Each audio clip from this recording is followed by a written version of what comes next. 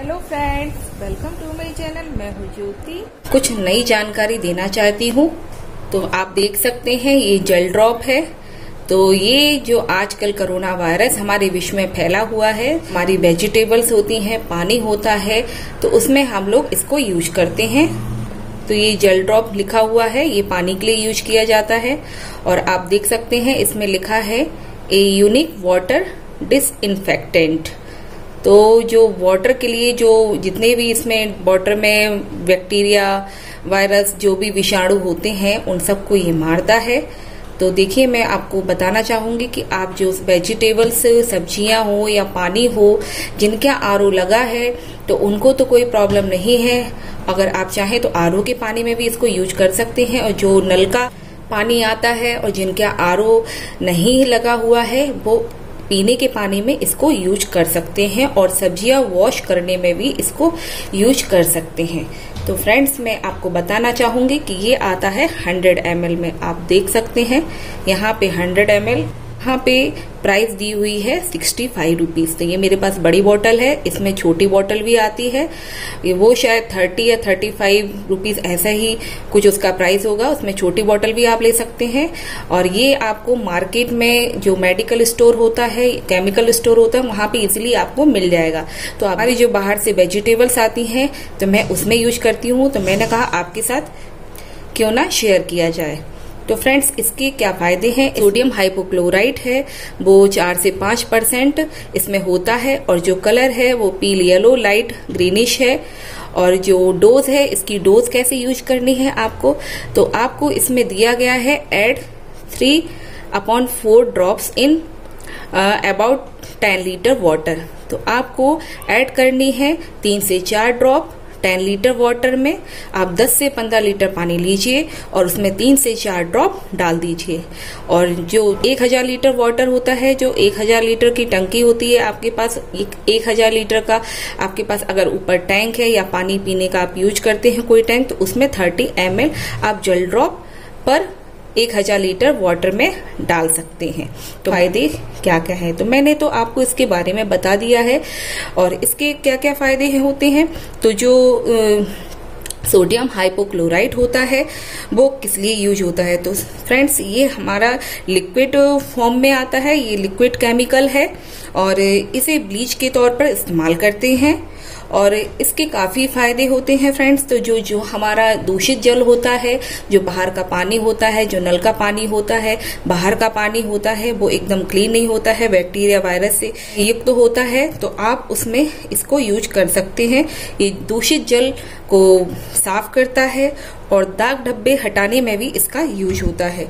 और घरों को जो जीवाणु मुक्त करने के लिए भी यूज़ किया जाता है। और इसको वेजिटेबल में कैसे यूज़ करते हैं? तो चलिए फ्रेंड्स मैं बताती हूँ वेजिटेबल्स में कैसे इसको यूज़ करती हूँ मैं। तो दोस्तों यहाँ पे हमको करना क्या है? यहाँ पे जितनी भी हमारी मार्केट से लाई हुई वेजिटेबल्स हैं मैं उनको सारी निकाल लूँगी। और ये क्लीन मैंने पानी लिया हुआ है यहाँ पे। तो ये आधा बाल्टी मैंने पानी लिया हुआ है तो इसमें सारे वेजिटेबल डाल दूँगी। देखिए, मेरे पास सारी सब्ज़ियाँ हैं, ये आलू हैं, मैं इनको भी डाल दूँगी।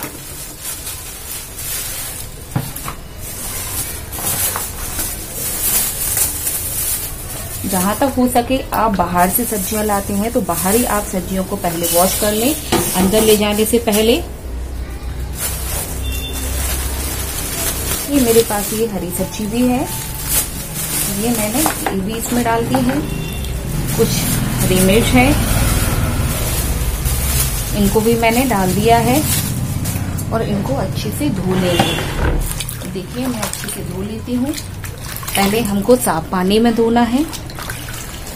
मैं अच्छे से क्लीन कर लूँगी।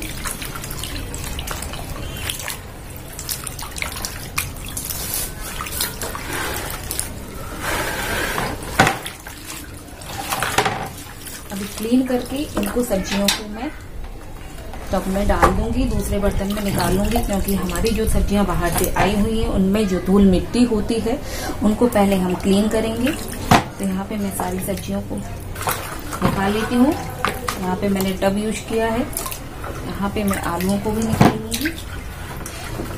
तो मैंने सारी सब्जियों को पहले धूल मिट्टी से क्लीन कर लिया है। तो मेरे पास जो पानी है, मैं अपने इस पानी को वेस्ट नहीं करूँगी गार्डन में डाल दूँगी। पानी हमारा वेस्ट हो गया था। धोने के बाद जो वेस्ट पानी था, मैंने उसको गार्डन में डाल दिया है। तो यहाँ पे मैंने आधी बाल्टी ले लिया है पानी। तो आपको याद रखना है, जो 15 लीटर पानी है मैंने उसी क्वांटिटी में लिया है।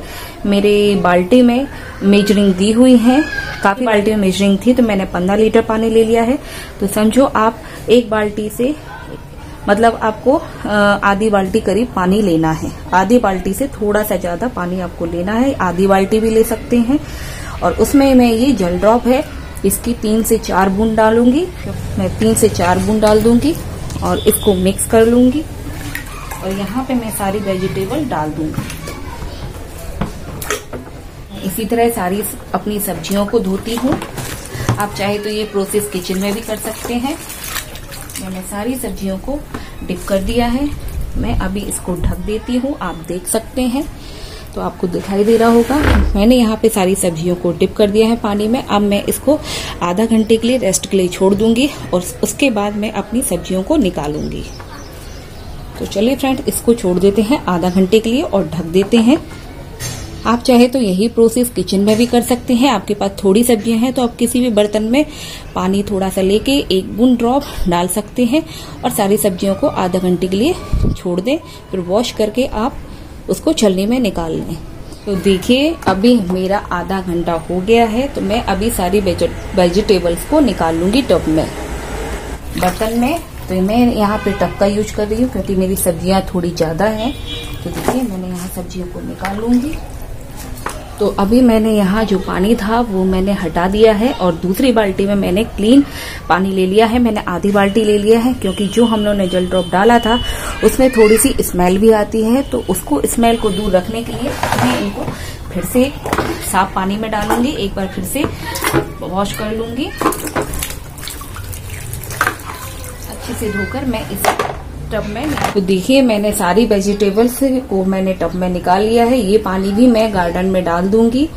और आप जो हमारी वेजिटेबल्स हैं, इसको मैं ऐसे ही छोड़ दूँगी एक घंटे के लिए, ताकि जो हमारा पानी है, सारा निकल जाए। फिर मैं इसको कपड़े से पोछ कर और फिर मैं इसको सुखा के यूज़ करती हूँ। तो देख सकते हैं आप फ्रेंड्स मैंने किस तरह सारी वेजिटेबल को वॉश कर लिया है।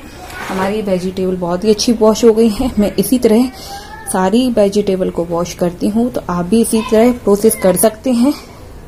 तो चलिए फ्रेंड्स मिलते हैं नेक्स्ट वीडियो में।